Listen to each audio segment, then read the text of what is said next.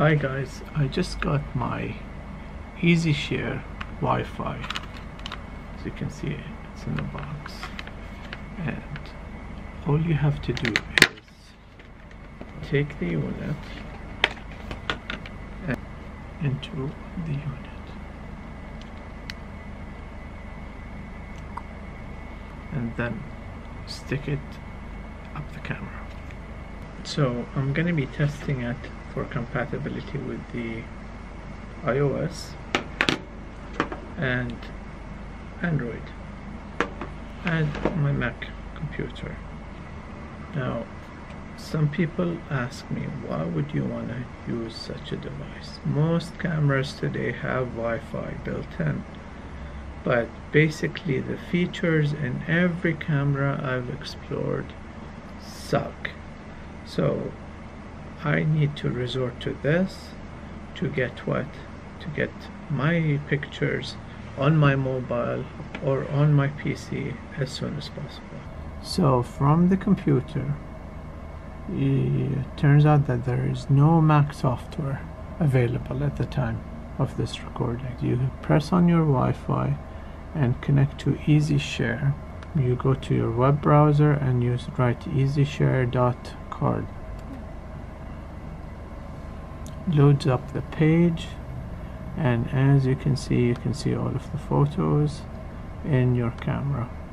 Now from the iOS what you have to do is you have to turn on your iOS device and you need to install easy share from the App Store. Once you installed it what you need to do is you need to set up the Wi-Fi you click on Wi-Fi and connect to EasyShare now the default password is 88888, so 88. Turn on EasyShare. If you go to the card album, you can see you can download them. You'll receive your pictures, and you'll be able to see. Well, doesn't turn. Okay, guess it doesn't turn. That's one negative for it. Alright, so the interface. Four tabs. So the first one is the card and it shows whatever is on the card. The second is the local album. Third is the queue and it's whatever it's gonna download and whatever it downloaded already.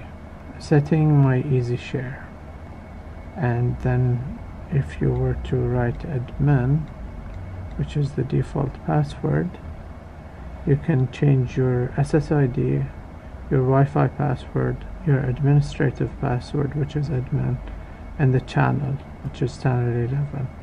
The second tab is the push, auto push. What auto push allows you to do is automatically get all of the pictures as soon as the device connects with the app. For some odd reason on the iOS it doesn't work, but I've tried it on the Android and you'll see the options that they have. Tutorial how to and feedback and um, screen sleep. This stops the uh, telephone or your device from sleeping which allows it to continuously receive photos from the EasyShare so I just took a picture and as you can see the picture is right here that the pictures get cropped in iOS and there is no option to actually say keep it as is. Um, see, it just recognized that there's a new picture and it should be queuing it. Voila, it just did download it. On the Android, kind of like the interface more. So you have my album, download. It recognized that there's new pictures. Actually, download them. List them on the queue and then downloads them.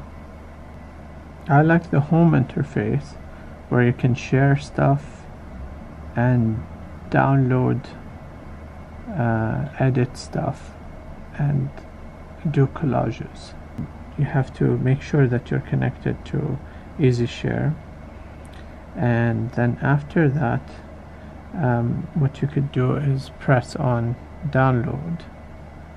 And then from here you'll be able to see the card and all of the pictures on the card organized uh, by however the camera organizes them. Local albums or whatever you've downloaded.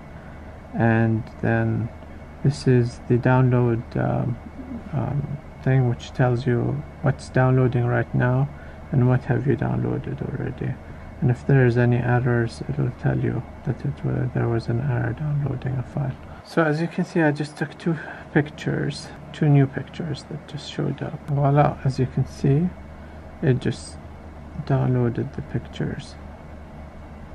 And in the Android you can actually tilt it and it'll be fine.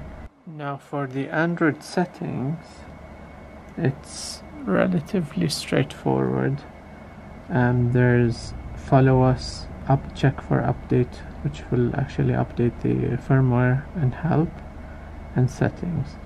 Sorry the SNS setting which is the uh, network um, similar to um, Instagram. See here says image quality high medium or low.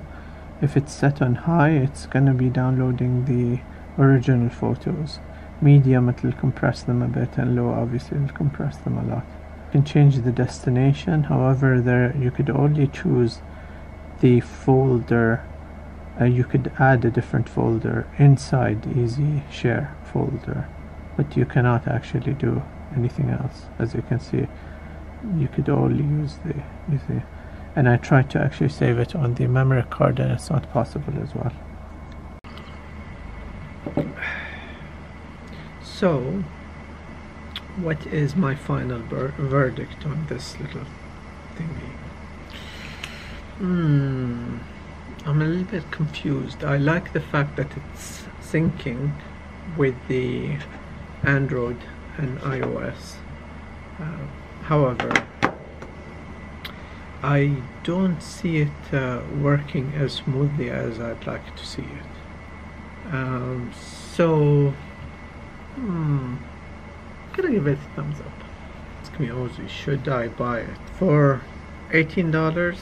Absolutely. But keep in mind that there's extra expense, which is the extra memory card that you need to buy with it. Because without this memory card, it will not work. It's just a case. So there's additional expenses.